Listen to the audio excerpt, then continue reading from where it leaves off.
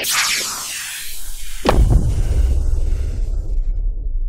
Mayfield, Hard Hitta. What's good? How you doing, bro? Cool, man. It's out here cooler than Vegas, man. Just came from the fight, you know, other day. What do you think of the fight? Um, it's a pretty cool fight, you know. Berto did what he can do. Um, just trying to do what he can do with Mayweather. I mean, but that's Mayweather, man. So the dudes, it's funny. My little brother Russ told me, Euro Dinero, right? He tell me that people every time people fight, they um, their percentage levels goes down to 17 to 19 percent. He was exactly right. He made Berto shit go down to 19 percent. So, you know, Were you disappointed that wasn't you in there? Because they mentioned then of course, you know, um, anytime you get an opportunity to be able to fight um, a legend, you know, and and obviously to be able to get a check like that, I mean, you know, it's a little disappointment, but nevertheless, I can't cry about nothing that I ain't never had. You what you gonna do now? You gonna fight Berto? Who you gonna fight? What's next for you?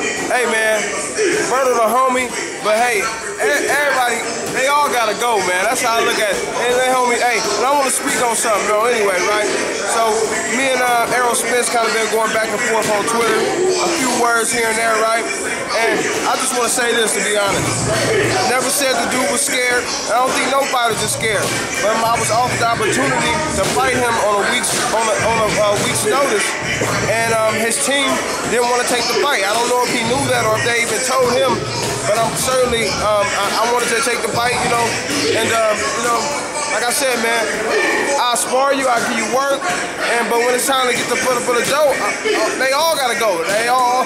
They, I done told my homies this, man, that if they offer a certain amount of money, we gonna lock up and then shake hands and go on vacation after, man. For the dough, man, we gotta, gotta, gotta get my dough. I got family to feed. That's all that is, man. It's all business, no hard feelings. You feel me?